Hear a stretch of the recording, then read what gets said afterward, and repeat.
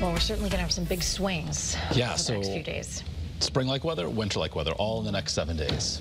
Some real winter-like weather. Real winter. Not feeling like it, but actually looking like it again. So first and foremost, we do have warmer weather for this weekend. It is going to feel like April. We've been uh, talking about that uh, for many, many days now. Uh, and while the weekend does not feature a washout at any point, there is a chance for a late day shower on Saturday. That's uh, toward an after sunset and a situation where many towns likely remain dry and any rain that we have, again, will be fairly light.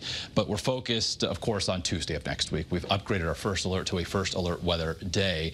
Uh, and here's what we know as of right now. And keep in mind, this is still very fluid. We're several days out uh, from the first flakes or first bits of precipitation falling from the sky.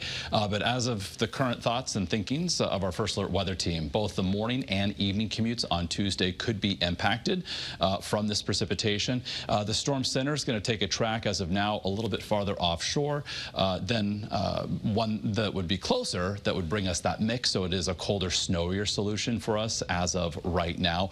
Still some uncertainties regarding the start and end times. Uh, at one point, the models were uh, 10, 12, 14, 24 hours apart. They've been getting closer, uh, and how much snow exactly to anticipate, we're going to be ironing that out as well through the weekend and into early next week. But here, for instance, look at the start time on uh, the American, the European model. Uh, certainly a little bit snowier on the Euro than compared to, compared to the American model, but look how quickly things wrap up on the Euro. Meanwhile, on the American model, uh, we're looking specifically here at Tuesday, 6 p.m., still ongoing all across uh, southern New England. So uh, in the meantime, it is April-like warmth that is on the way for tomorrow. Today, warmer than yesterday. Tomorrow, warmer than today. We're right now between 45 and 50. Inland, mid-40s along the 95 corridor, thanks to around a 40-degree water temperature in the sound and that southerly flow. But regardless, we're uh, 2 to 5, 7 degrees warmer uh, in many locations compared to this time yesterday. And our ICAM view from Waterbury, 46 in the Brass City.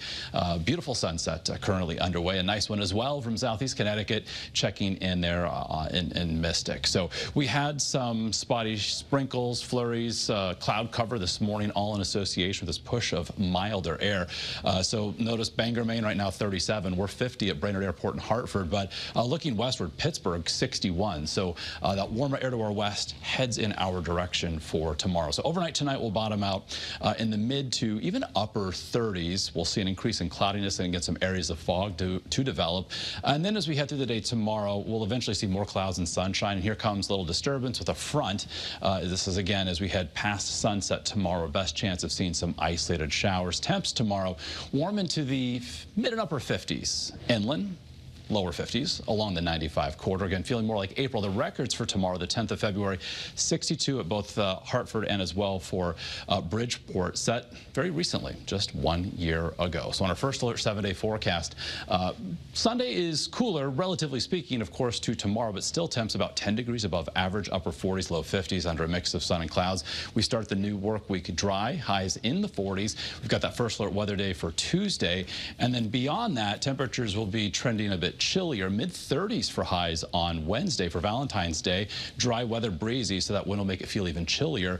And the 35 to 40 degree range by Thursday with increasing cloudiness, maybe some afternoon and evening flurries, and then Friday of next week as of now, still chilly, highs in the 30s under a mix of sun and clouds. All right.